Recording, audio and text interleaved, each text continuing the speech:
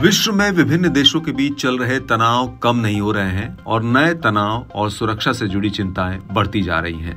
शेख हसीना के दौर तक तो चीज़ें ठीक थी लेकिन उन्हें हटाए जाने के बाद बांग्लादेश की राजनीति और रणनीति काफ़ी हद तक बदल गई है।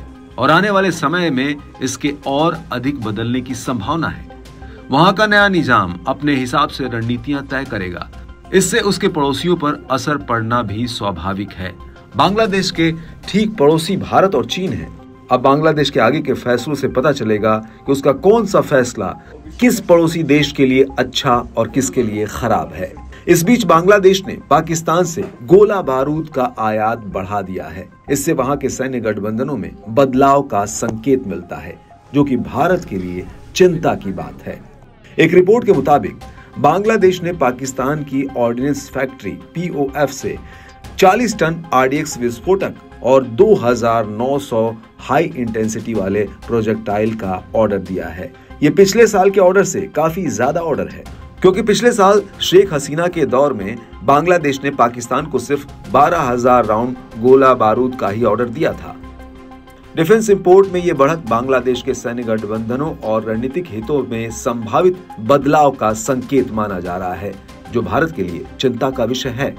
भारत पाक संबंधों को देखें तो पाकिस्तान से बांग्लादेश का डिफेंस इंपोर्ट बढ़ना भारत के प्रभाव के लिए एक चुनौती के रूप में देखा जा सकता है। दूसरी तरफ़ जब पाकिस्तान दक्षिण एशिया में अपना प्रभाव बढ़ाने की कोशिश में लगा हो, तब ये और बड़ी चुनौती है, क्योंकि पाकिस्तान क्षेत्रीय भू राजनीति यानी रीजनल जियो में खुद को एक प्रमुख खिलाड़ी के रूप में स्थापित करने में लगा है। ऐसे में बांग्लादेश के साथ इसके बढ़ते सैन्य संबंधों को क्षेत्र में भारत के प्रभाव को संतुलित करने की व्यापक रणनीति के हिस्से के रूप में देखा जा सकता है। ये सब तब हो रहा है जब बांग्लादेश में अलग अलग मुद्दों को लेकर पहले से ही भारत विरोधी भावना भड़की हुई है। इसके अलावा वहाँ वीज़ा आवेदन से जुड़े एक मसले को लेकर भी दोनों देशों के बीच कूटनीतिक संबंध में तनाव है। भारत की बढ़ती चिंताओं के बीच देश के रक्षा मंत्री राजनाथ सिंह ने भारत की सेना से बांग्लादेश में तख्ता पलट और उसके बाद की घटनाओं का विश्लेषण करने के लिए कहा है, जिससे साफ़ पता चलता है कि भारत इन घटनाक्रमों को गंभीरता से ले रहा है। भारत सदैव से शांति का पुजारी रहा है है और आगे भी रहेगा।